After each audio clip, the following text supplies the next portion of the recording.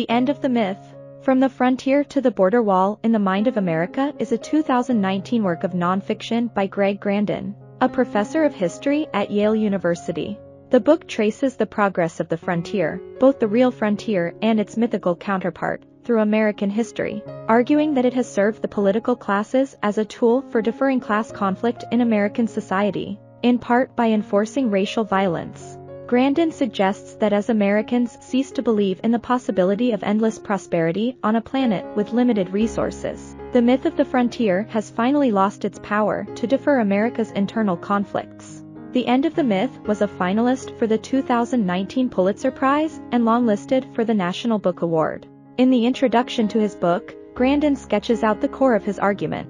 A unique feature of American history is that while every country has always had borders, only the United States has had a frontier. This frontier has moved over the course of history, first across the American continent from the Alleghenies to the Mississippi to the West Coast, and from there across the globe in a series of imperialist wars, finally becoming an abstract vision of an ever-expanding global market managed by U.S.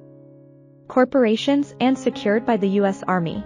Throughout this trajectory, Grandin argues, the frontier has been advanced by racialized and often genocidal violence. This violence has usually created or sustained yet more racial violence at home, behind the frontier.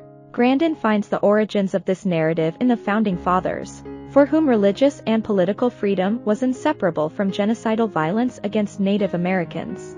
He argues that George Washington, like many of his fellow revolutionaries, was motivated by the desire to seize lands beyond the Alleghenies, forbidden by the British government, as much as by the pursuit of liberty. When the fledgling American state began to move westwards, the genocide of native people was again the inevitable accompaniment. By the 19th century, the reality of expansion at the frontier had entered American political mythology. Thomas Jefferson declared that the continent had room enough for our descendants to the thousandth and thousandth generation free from the exterminating havoc of overcrowded Europe. The havocs Jefferson referred to was class conflict, which escalated in Europe throughout the century, but was largely avoided in America by westward expansion and the allocation of the newly unlocked resources to the discontent.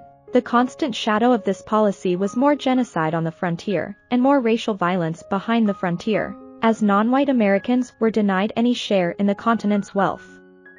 This westward expansion soon took America to its southwest border. Under slaveholding President Andrew Jackson, this border became a moving frontier, eventually incorporating half of Mexico. Genocidal violence, rape, and torture were central strategies of the advancing U.S. Army. The Mexicans who became Mexican Americans found themselves immediately subject to the racial violence that had become normalized in a nation already becoming inured to its brutality and accustomed to a unique prerogative, its ability to organize politics around the constant promise of constant, endless expansion. Grandin offers a detailed analysis of the work of late 19th century historian Frederick Jackson Turner, who first formulated the uh, frontier thesis of American history. Only three years after the massacre at Wounded Knee, Turner declared the frontier closed, overlooking the history of violence to argue instead that pushing back the frontier had forged Americans into an individualistic and self-reliant people, a model democratic citizenry who could set an example to the whole world. Grandin sees Turner as the forerunner of contemporary liberals, the cheerleaders for globalized trade who see no contradiction between this and the ever stricter immigration policies of 20th century presidents. The closing of the continental frontier coincided, not, Grandin suggests, coincidentally, with the rise of radical labor and populist movements in America. The response was to look overseas for a new frontier. Teddy Roosevelt and Woodrow Wilson began the march of American imperialism, which took the frontier to Cuba, Haiti, the Philippines, the D.R., and Nicaragua hundreds of thousands died. In America, this violence was seen not as conquest but as the spread of American democracy. Grandin shows that this expansion, too, was characterized by racialized violence both on the new frontier and behind it. He recounts examples of U.S.